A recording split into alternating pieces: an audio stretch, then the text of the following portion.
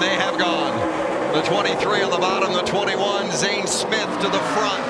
But here comes Crafton. We heard that radio. Junior Joiner, his crew chief, telling him you're going to win it. Well, Crafton is in second with a shot. He tried to make it work right there, guys, but the 21 was so strong on the bottom. The final laps at Dover, Zane Smith trying to win for the second time in the last three races.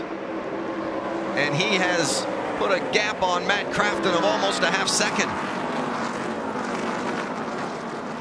Moffitt in third, Gilliland fourth, Ben Rhodes filling out the top five, but Zane Smith's got some comfortable has got some comfortable working space. You see, Ben Rhodes actually put tires on right there, Michael, but it just doesn't seem like he's able to capitalize and do anything with those. The final lap for Zane Smith. The 21-year-old from Huntington Beach, California, got his first win a couple of weeks ago at Michigan.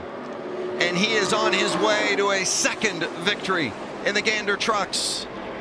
In his first Truck Series start at Dover, he's going to get the monster. Zane Smith, the winner of the Monster Mile.